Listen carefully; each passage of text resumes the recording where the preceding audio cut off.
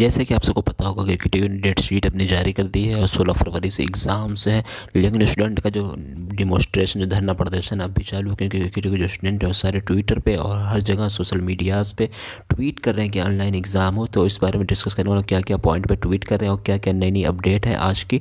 आज तक की क्या पूरी अपडेट आई चलिए हम पूरा डिस्कस करते हैं इस वीडियो में